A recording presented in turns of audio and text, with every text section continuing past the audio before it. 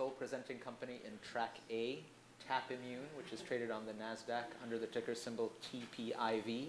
TapImmune, as you can probably surmise, is focused on the immuno-oncology space, and in particular, uh, has a focus on uh, unique and proprietary sets of peptide antigens designed to elicit both killer T-cell CD8 and helper T-cell CD4 immune responses against well-characterized molecular targets that correlate with disease prognosis. Without further ado, I'll hand you over to Peter Hoang, Chief Executive Officer. Thank you very much, and thanks for joining me here this afternoon. I think that we've got some uh, some very exciting data to talk to you about that I think is very important for the field. So let's first start with uh, our forward-looking statements. Um, we're a publicly traded company, and so I encourage you uh, to refer to our public filings for the associated risk factors. But here, I'd like to talk to you about the merger that we've announced on the 15th of May Uh, that we are acquiring Marker Therapeutics, and what I think is a really transformative cell therapy program.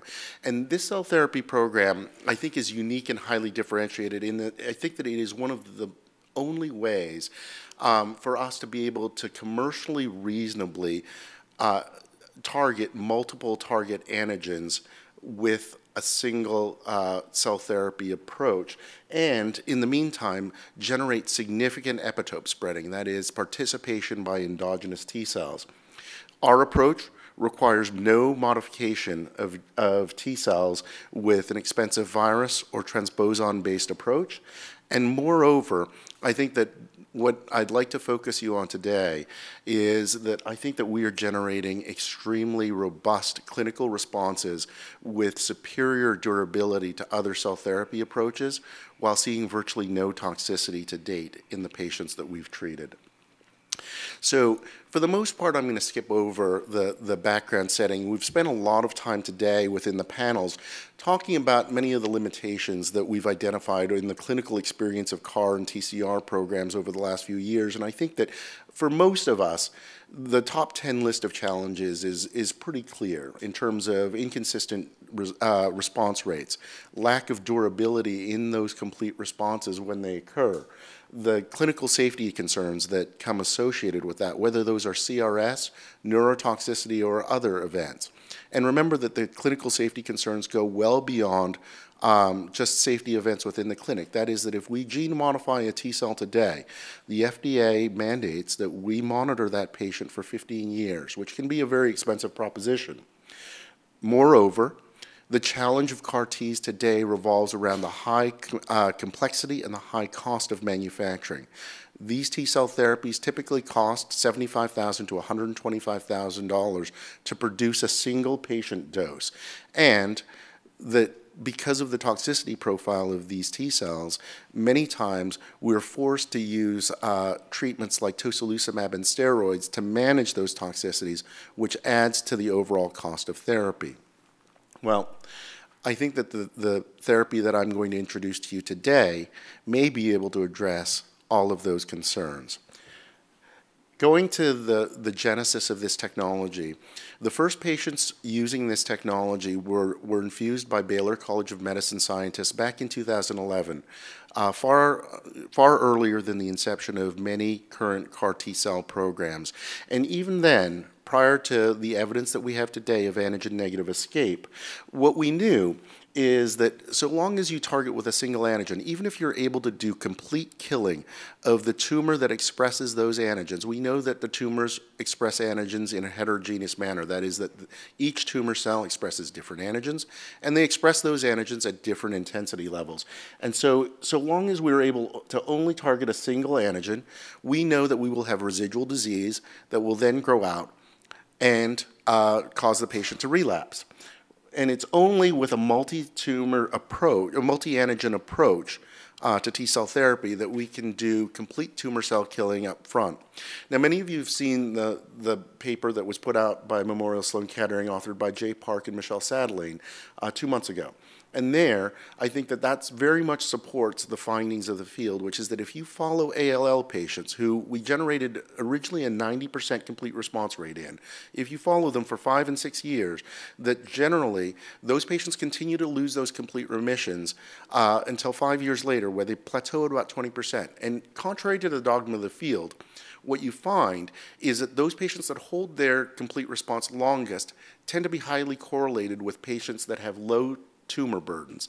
That is, and the hypothesis that was presented by the researchers at Memorial Sloan Kettering were that the reason that the low tumor burden patients seem to be outperforming the high tumor burden patients over time is that the, in the low tumor burden patients, the, the therapies were able to do more complete tumor cell killing up front. And that's very consistent with what we see in CAR T therapies, where if we hit a tumor sequentially with CD19 and then CD20, uh, or CD22 and then CD20, what you'll see is sequential escape. So that you'll see CD19 negative escape, then CD22 negative escape, and CD20 negative escape. Whereas if you hit all of them, uh, if you hit the tumor with all of them at the same time, you are much less likely to see an antigen negative escape. So the quality of the tumor killing up front is important. And so how do we how do we manufacture our process without gene modifying T cells? Well, today we have two products. One which is a donor derived product for AML, one which is an autologous product for lymphoma and multiple myeloma. And the, the really startling thing here is that we're able to generate these therapeutic responses with an extraordinarily low dose of cells. That is that the standard dose in lymphoma for a patient is, two, uh, is 20 million cells per meter squared. That's right, per meter squared, not per kilogram. Coming from the CAR T world, I am used to typically dosing a patient with upwards of 5, 10, and 20 billion T cells. But for an adult patient, we are generally using 20 million T cells. For a very large patient, 40 million T cells. So what that allows us to do is to do blood draw by venipuncture rather than having to send a patient to an apheresis center and hook them up to an apheresis machine in a painful process that requires several hours to draw blood. We, in fact, with venipuncture, all we need is 100 to 400 mils of blood, eight green tubes. Then we manufacture them. We manufacture these cells in a single G-Rex device. It's a plastic container that I'll show you in a minute, where we mix the PBMCs with dendritic cells, our our peptide, uh, our PEP mix, and a mix of cytokines intended to revive these T cells to function. So what is the PEP mix? The PEP mix is actually a multi-antigen PEP mix. So what we do is for AML, we take WT1, PRAME, Survivin, and ESO1, for, for uh, lymphoma and myeloma, MAGE4, PRAME, NY-ESO1, SSX2, and Survivin. Take the entire protein length of that particular antigen. So for example, in NY-ESO1, you'll take the entire protein length of NY-ESO1 and carve it up into very small overlapping peptides. That is 15 mer peptides overlapping by 11 amino acids. And what that allows us to do is to basically select for every T cell that is specific to any peptide epitope of NY-ESO-1 along with four other tumor-associated antigens. In fact, what we see in the process is that we're able to expand very rare clones that are disproportionately important. In our correlative studies, we can show that those clones that were very rare are particularly important contributors to the anti-tumor effect. And those clones are so rare that when we deep sequence the peripheral blood, those clones fall below the threshold of detection by deep sequencing. We do two stimulations, we wash and freeze the cells, and then we reintroduce it into the patient.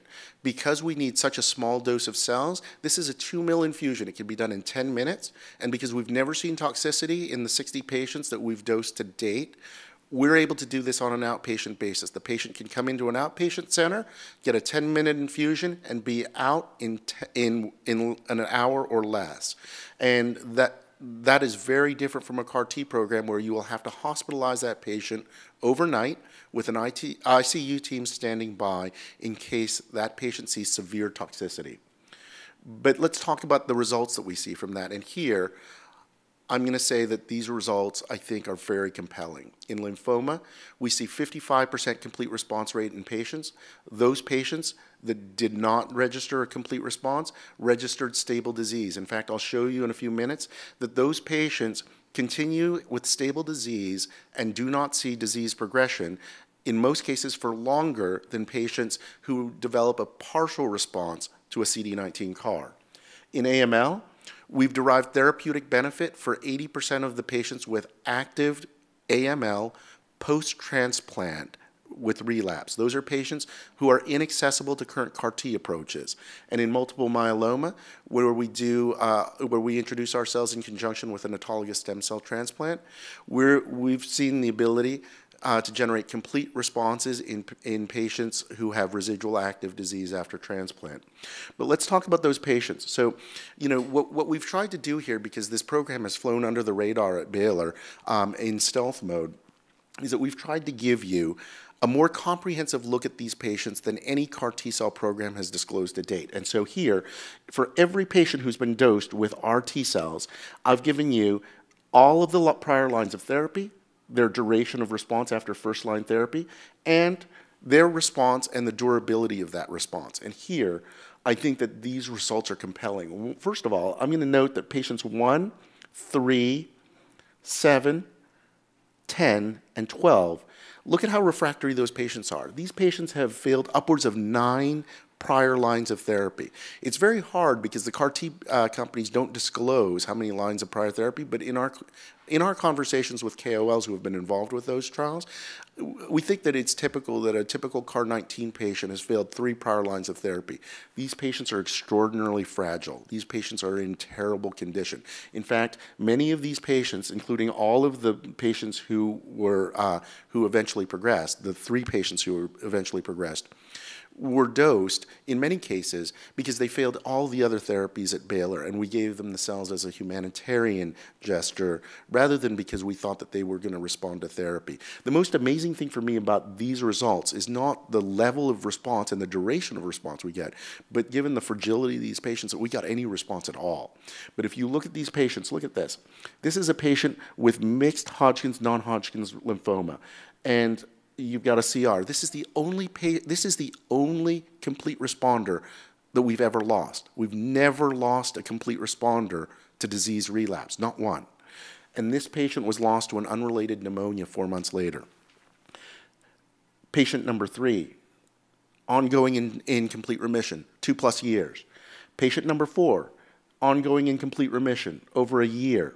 Patient number five, who I'm going to show you in a second, is now uh, actually, we, we mark him durable out beyond two years. Um, that patient, I'm told, has just come in for his three year follow up. That patient is getting complete response now over three years, as is patient number six, um, all of whom I'm going to show you in a few minutes. Um, but once again, remember that the patients that progressed here, and many of the patients who did respond to our, our therapy here, were so refractory that they would clearly have fallen outside of the inclusion criteria for any commercial CAR 19 trial. Moreover, it's easy to think about this as being a therapy in in contrast to CAR T alone. But what I'm going to tell you is that you've got to think about this as a, as a cell therapy in its own right, in that with low cost of goods, that is that today, manufacturing up to 10 patient doses in a single G-Rex, Baylor estimates that its cost of goods is $8,000 and the lack of toxicity and the persistence of these T cells. Remember, because this is not a gene modified T cell, once you lose the last gene modified T cell, your therapy is gone. But these are natural T cells. So in the in the lack of antigen, what these T cells do is they retreat into memory state and they provide ongoing protection for the patient, which is one of the reasons that we see such long and durable responses. But because of that profile, lower cost, better persistence and no toxicity, these therapies can be used in much earlier lines of treatment. In fact, these patients that I'm going to show you here were treated in remission, these cells being used as a maintenance therapy. And so, you know, obviously with a phase one, it's very hard to make any conclusions about efficacy, except I'll say this. Baylor did a retrospective analysis of these patients, these patients being highly refractory, and they looked at the best remission that these patients had ever seen previously. And if you take an average of those best remissions, it's four months. The best remission that these patients had ever seen prior to these therapies four months on average. And if you look at the length of time that these patients have been in continuing complete remission with these T cells alone, 37 months, 17 months, 29 months, 16 months, 25 months, 28 months, 20 months, 15 months, 18 months, what we can say definitively is that for every one of the patients that was assessed in that retrospective analysis, we have generated by far the longest continuing complete remission that those patients have ever seen.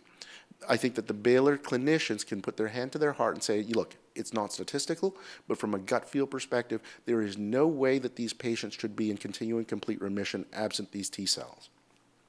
So let's look at some of the patients. So this is patient number five, durable out beyond three years now in complete remission. This is a Hodgkin's lymphoma patient. You can see that the tumor spot pre-infusion is completely resolved. His SUV went from 5.7 to less than 2, clearly putting him in complete response.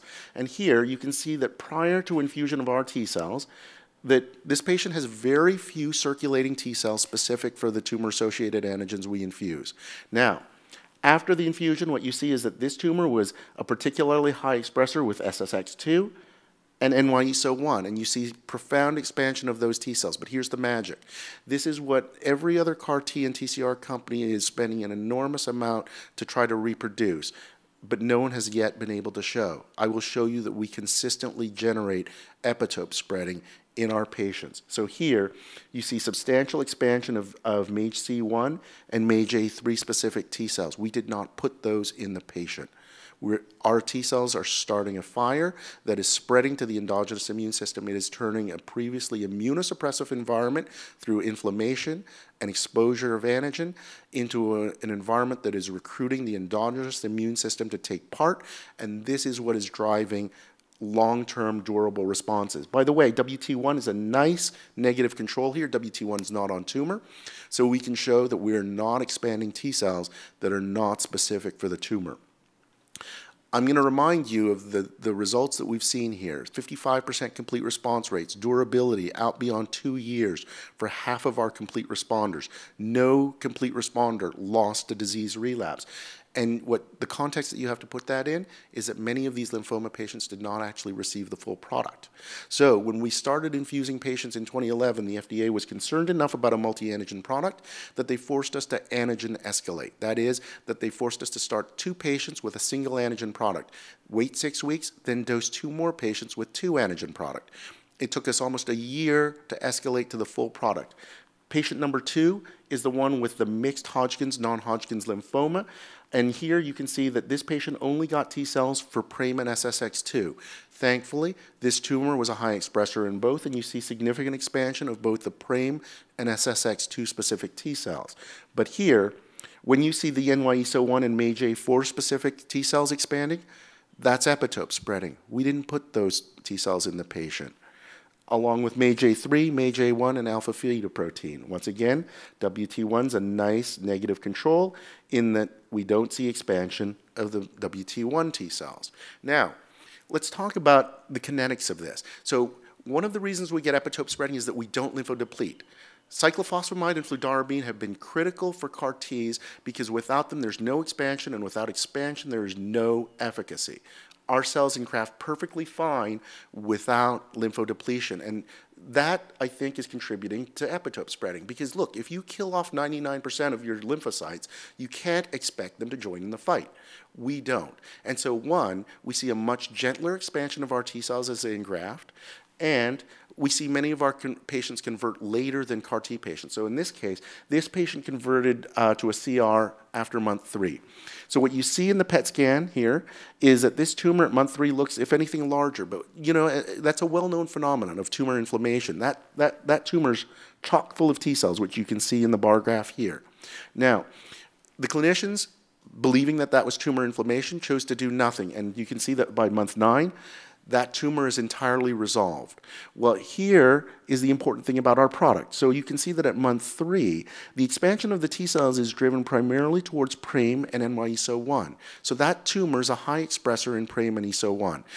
But, like we would expect, as we kill down tumor that is expressing uh, ESO-1 and PRAME, you should see that tumor migrate away from it. And if this was a PRAME or an NY-ESO-1 TCR alone, I think it's highly likely that we would have lost this patient. But we didn't. Why? Because as that tumor migrated towards MAGE-A4 and Survivin and SSX2, we see our product migrate alongside it. And so we see expansion of those T cells, and so by month nine, we see elimination of that, T, uh, of that tumor. And once again, this patient is durable in complete remission over three years. Once again, we see significant participation by endogenous T cells, in this case, by an oligoclonal response to MAGE-C1. By the way, in our product, we typically see 4,000 different clonotypes of T cells across over 400 epitopes of the five tumor-associated antigens that we target. Here, we've just done an illustrative comparison against the largest uh, population of, of, patients in lymphoma that's ever been reported in the New England Journal of Medicine, December 2012, uh, 2017. 101 patients reported by Kite. You can see that our complete response rate falls very nicely on top of theirs, 55% to their 54%. But what you see here is very consistent with what's been reported uh, by other CAR T companies as well, which is that typically we lose 30 to 40% of those complete responders within the first year. The line does flatten out beyond that, but I'm going to remind you that most of these patients are in the month 1 to month 12 time frame, and so there's every opportunity for this Kaplan-Meier to continue to tick down over time. Once you get out to 23 months, Kite has only one complete responder that's aged out to 23 months, none longer. Remember that half of our complete responders are, are durable out beyond the longest complete responder that KITE can report to date. So while KITE has a larger data set, in many ways, the marker data set is more mature. And this comes with a 95% rate of severe adverse events associated with their therapy. To date, like I said, we've had one reportable event of a grade 3 adverse event that was potentially related to our therapy. And remember that these adverse events are very serious. CRS is only 13% of these. 79% of these patients get grade 3 or higher neutropenia. 28% of them, almost 1 in 3, gets a grade 3 or higher neurotoxicity.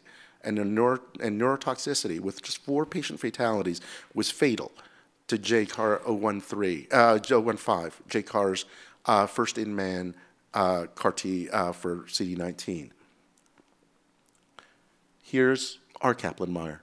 We've never lost a complete responder to disease relapse. And once again, if you look at the patients for whom we only develop stable disease, they go considerably longer before seeing disease relapse than KITE's partial responders. But those aren't the most exciting results. They're just the most comparable results. Where I think that we can really make an impact is in AML. So in post-relapse, uh, post-transplant relapsed AML, there's no currently available therapy other than a DLI. FLT3 inhibitors, IDH inhibitors are all approved pre-transplant. CAR Ts like CD123 and 33 can only be used pre-transplant because they because those targets are in hematopoietic stem cells. So if you use a CD123 CAR, and you know you can't live without your hematopoietic stem cells. You have to wipe out those stem. Uh, you have to wipe out the CAR T at some point after it's had its anti-tumor effect, and you have to transplant the patient. If a patient relapses post-transplant, their prognosis is, extre is extremely dire. Their overall survival expectation is four and a half months. I'm going to show you the five patients that we've dosed in post-transplant relapsed uh, AML. And you'll see that four out of five of them have had significant therapeutic benefit. The first patient went out to his survival expectation, stable disease, and saw isolated relapse only in the skin, did not see a relapse in the marrow, which is what AML is. It's a marrow disease. So that, that relapse was treated topically. In the marrow, that patient continues in stable disease today. We did see one progressor who passed away after two months, but then we have a complete responder who's durable now out to 15 months. 15 months. That is unheard of um, in post transplant relapsed AML. This patient who saw partial, re, uh, partial remission saw a reduction in blast count from 40 to 15 percent, restoration of normal hemopoiesis. He had no normal hemopoiesis and did so well that his clinician elected to take him to a second transplant that put him into a CR. Likewise, um, this stable disease patient, 23-year-old male, saw restoration of normal hemopoiesis. That patient, um, because he was asymptomatic, was also taken to a second transplant, which subsequently put him into a CR as well. I'm going to show you the, the patient that we put into CR for 15 months. And this, I think, is very meaningful. So we started this patient, she's a 57-year-old female, out in the remission arm. So she got an allogeneic stem cell transplant from a sibling, and we gave her our multi-antigen specific cells to protect her in that remission. And here, we saw the only grade 3 adverse event that we've ever seen, a grade 3 elevation of liver enzymes. Well, it turns out this patient accidentally took her oral pain medication twice the night before, and that may have been what caused the elevation of the liver enzymes, but because we couldn't say that that wasn't related to our T cells, we score this a grade 3 adverse event related to our T cells. So in response to those elevated liver enzymes, the doctors give her prednisone. Prednisone is a steroid. What does it do? It abrogates the effect of T cells, so they flattened our T cells. And guess what? When they did that, this patient saw significant relapse. Look at those spinal lesions. That caused a lot of back pain. Those are big spinal lesions caused by the AML. Well, when the liver enzymes went down, the clinicians withdrew the use of prednisone, and our T cells spontaneously bounced back and put this patient into a significant partial remission. Look, those spinal lesions have mostly disappeared. In fact, she did so well with the rebound of these T cells that the doctors decided to try to wipe out the residual disease with consolidation therapy. So they gave her chemotherapy, decitabine. Decitabine, as you know, kills T cells. And once again, they eliminated our T cells. And rather than helping her, it hurt. It actually put her into a significant relapse, and you see that those spinal lesions and that back pain came back. Look at the size of those lesions. Well, at that point, we contacted the FDA. They agreed to let us move her from the adjuvant or remission arm of our trial to the active disease arm of the trial. We then gave her a second dose of our T cells that had been frozen, so we did not remanufacture. This was a frozen sample of the same T cells that she had gotten as a maintenance therapy. And when we gave her those T cells in the active disease arm, T cells alone, we sent her into a complete remission that is now durable out to 15 months. I'm told that she's very happy and that she was more concerned about relationship issues when she came in for her last follow up than she was about AML. That's pretty amazing. So, how do we know that these are our T cells? Well, look, every colored bar here represents a, cl a, clonal population of T cells. So, we confirmed that one, they're tumor specific. Most of these are actually specific for WT1. This was a high WT expressing one, uh, WT1 expressing tumor and that every one of those bars represents a clone of a T cell that is donor derived. Those T cells do not exist in the patient's native T cell repertoire, so we know that these are our T cells.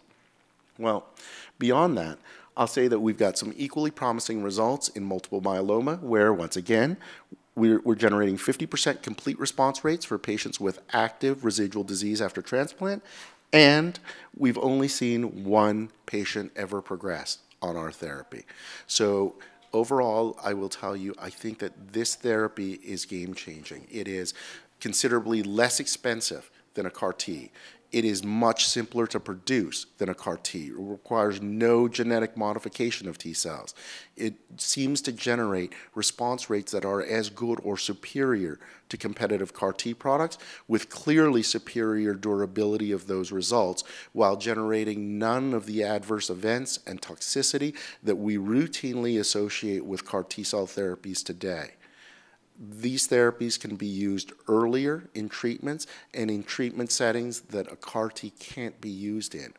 In my mind, I think that these clinical results are compelling. In fact, I will, I will say, I will go so far as to say that, you know, when you look at these clinical trial results, these results speak for themselves. And I think that it's one of the reasons that, you know, we have had the pleasure of welcoming you know, one of the most um, prominent scientific advisory boards in the industry over the course of the last two weeks. Jim Allison, who I consider the father of modern immunotherapy, uh, architect behind the world's first approved cancer immunotherapy, has joined our, our SAB along with Pam Sharma from MD Anderson.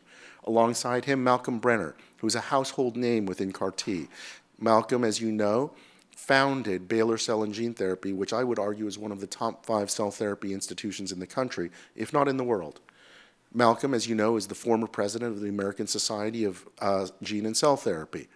Alongside Malcolm, we have the current president of the American Society of Cell and Gene Therapy, Helen Heslop. And we have Cliona Rooney, who did many of the first in-man studies with T-cell therapies. I, I very much am grateful for their support with this new therapy, which I think is very important in moving the field forward. Thank you.